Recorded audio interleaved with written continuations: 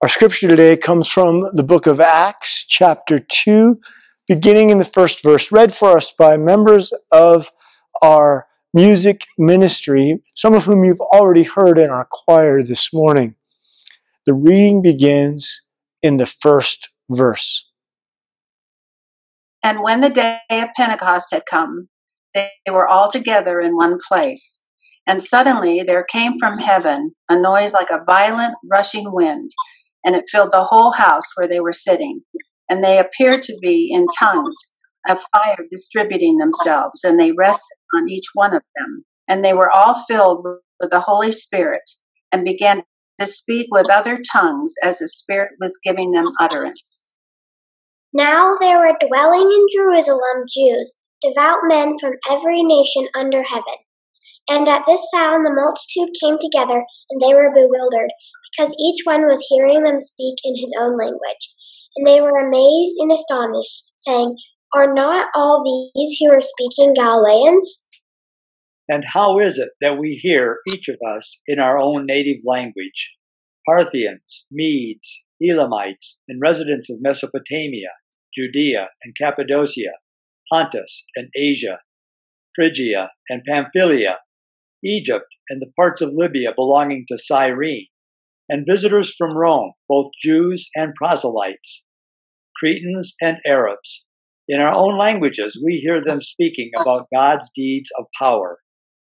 All were amazed and perplexed, saying to one another, What does this mean? But others sneered and said, They are filled with new wine.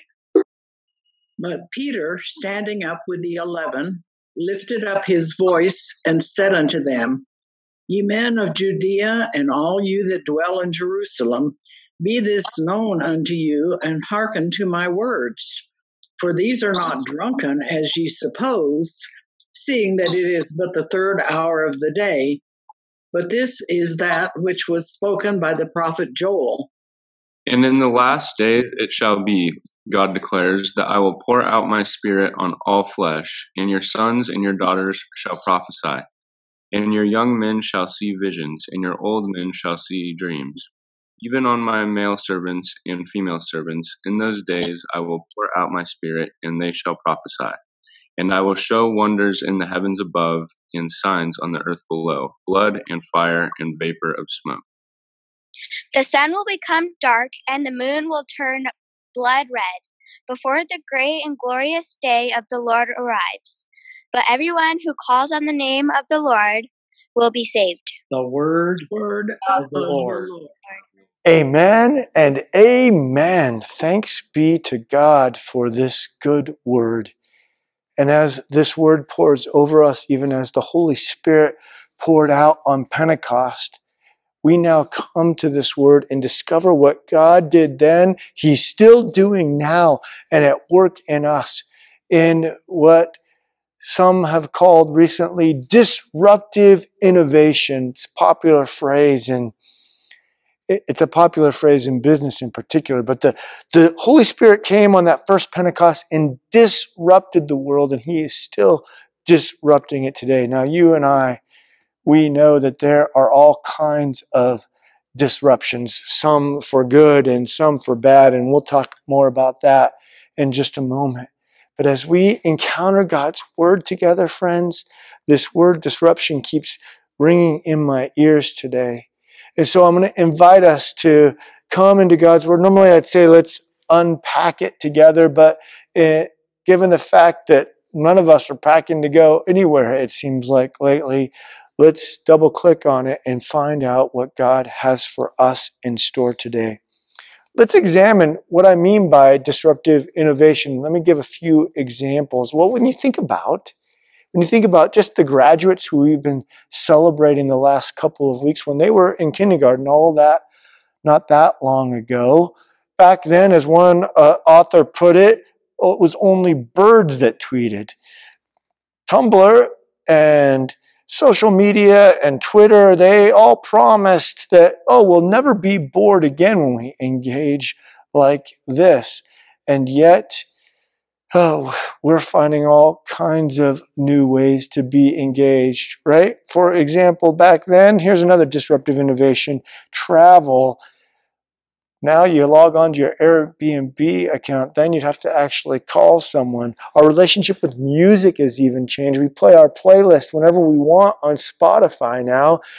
Back then, you'd have to play the album or maybe call a DJ to get them to play it on the radio. Cloud and Dropbox uh, have been invented since then. Instead of having to mail a file, you can actually download it. Or how about even just the disruption of social media for good or for bad? Did you know that there are more people involved and active users on just Facebook online in a given month than there were people on the planet 100 years ago? All kinds of disruptive innovation, some of it very good. It allows us, because of it, to be able to be engaged during these days of social distancing to still get the gospel out, and some of it not so good, right? And disrupting human relationship. Disruption. Is it a work of the flesh or is it a work of the Spirit? And as we'll see in today's text, the Spirit comes to disrupt the human heart for God's good. The human heart often wants to disrupt for our own good. Well, with all that change, that innovation, let's talk about for a moment what has stayed the same. And I want to suggest that the human condition all, all, all the while has stayed the same. We still long for meaning and significance. We still long for being those kind of good disruptors or, or we still long, let's be honest, for those disruptions to being about our own good. After all, there are still real sacrificial heroes today, not just on Marvel and DC, but real heroes that sacrifice of themselves for others. And there are also real villains today. The human heart continues to be corrupted by sin and evil. And as much as the world may be better than it was in some ways, some decades ago or even a hundred years ago, evil still lurks. And so those disruptions still help us to grow weary and feel tired. Uh, as you turn on the TV or, or your YouTube channel this week, once again, we're encountering the disruption of injustice and of sin breaking in. And let's be honest, the Ten Commandments are broken every day, and you and I are often a part of that. How can we get to a place where we want to be? It seems like no matter how hard we work, evil still lurks. The human condition still is plagued, and despite our best efforts, they still persist. Of course, it's not that we shouldn't keep trying, just like our medical teams continue to squash and beat this virus. Even though we have setbacks, it doesn't mean we shouldn't still try, right? Well, here we are in this cosmic and physical battle. And maybe you, like me, grow weary sometimes. You grow weary. Maybe COVID 19 fatigue that I've heard talk about is impacting you. Maybe it's fatigue of the brokenness that we see coming across our screens. Maybe it's just so much fatigue that you've gone from looking for good disruptions to distractions. You know, uh, a lot of us are binge watching. A lot of us are binge eating. A lot of us are are are scrolling through social media to be distracted, and yet it still doesn't deal with our reality our disruptions that we do by our own efforts, our distractions that we do by our own efforts, uh, as good as both may be sometimes, they always fall short. And so Peter's sermon comes to mind here because he makes it clear, and the Holy Spirit makes it clear, that for real transformation to happen, it needs to come from outside of us. Now, as I begin to talk about this powerful work of the Holy Spirit, I know some of us right away are feeling, well, we're especially those who are questioning and asking hard questions about their faith among us. You're feeling, well, that seems a little too out there. Holy Spirit, isn't that just maybe a little too spiritual for me? Well, let me take a step back with you, my friends, for just one moment and say this. The famous Princeton theologian Charles Erdman said, Pentecost has never ended. Souls are still being garnered into God. The work of the Spirit continues, and that work gets proclaimed to us in so many ways, and we'll talk about some of them today. But those of you who are wrestling with the idea of, of feeling uncomfortable with the Holy Spirit, notice that the Holy Spirit comes and things change. There's evidence for the work of the Holy Spirit. Peter points back to the work of Christ as a testimony to the work of what the Holy Spirit will do and is doing. And even the testimony that we hear of eyewitness accounts of folks hearing in their own language gives evidence of that. But maybe the greatest evidence of the work of the Holy Spirit is the way that folks were garnered into the presence of God, reconciled with God, human hearts being changed from the disciples moving from a room hiding to the streets proclaiming is just one example.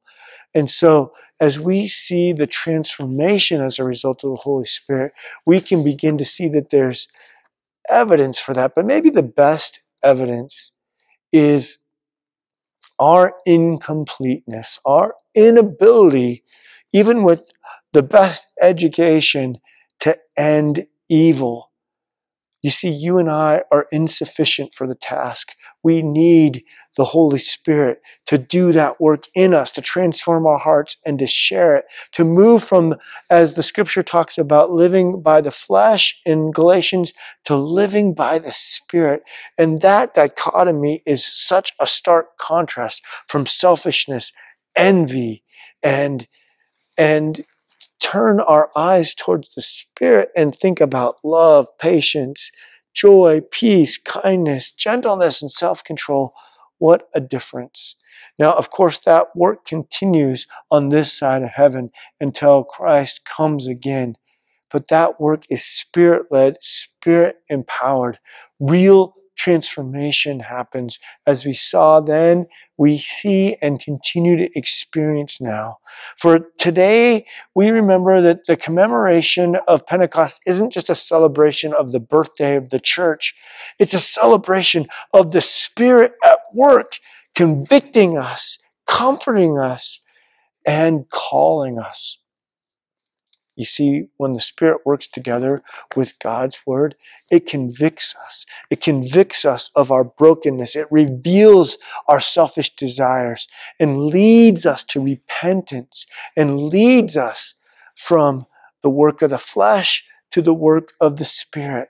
I pray that you admit with me that as the Ten Commandments continue to be broken every day and we as we're honest and as the Spirit convicts, we realize that you and I are part of that. As we see injustice on our screen yet again this week and we're heartbroken or fatigued by it, let us confess our sin and seek reconciliation and seek restoration and seek God's forgiveness to move towards the fruit of the Spirit. The fruit of the Spirit. God's Spirit is doing that work, bringing about His peace. And as He convicts us of our sin and as it shows up in all kinds of ways, He also comforts us in the brokenness of this world, comforts us as we face the distractions of COVID 19, comforts us when we grieve loss, when we grieve injustice, when we grieve the brokenness of the world. The Spirit intercedes for us as we've read in Romans 8, and intercedes with the cries of our hearts that words cannot express to the Father. The Spirit comforts us in our grief. The Spirit comforts us in our distress. The Psalms are full of prayers asking for the Holy Spirit to intercede and intercede with haste. Comforter, the convictor, but he also calls us.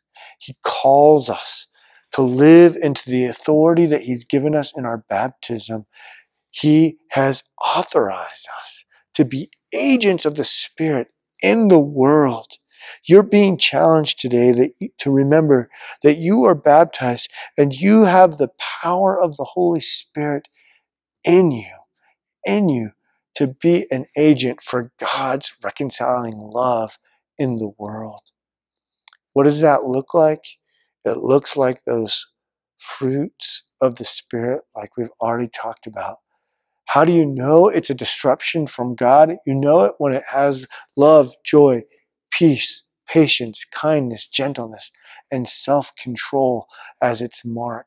As we continue to faithfully proclaim the gospel and faithfully love our neighbor, we do the work of the Holy Spirit. And it's not by our power, but by the power of God in us. We're authorized to do that in our daily vocation, whatever that vocation of yours may be. And that calling, even if we're in quarantine, continues in your daily work. That is the place that God is calling you first. And then as we do that there, it goes out into the world around us to speak on God's behalf with love, joy, peace, patience, gentleness, kindness, and self control. This against this, because of God's work, there is no law, the scripture says. And so I say to you, make no mistake, friends, God is at work supernaturally among us, supernaturally among us, bringing this gift to you and to I. Double click on it indeed and let the disruptive work of the Holy Spirit, let Him disrupt your sin and convict you and lead you in repentance to forgiveness.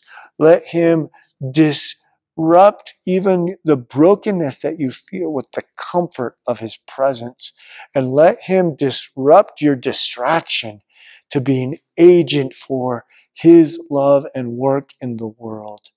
The Holy Spirit on this Pentecost day is calling you. He's convicting you. He's comforting you. He is disruptive for His good and your good and the good and love of our neighbor. Let's be a part of this movement today. Let's be a part of what the Spirit is doing. Amen and amen.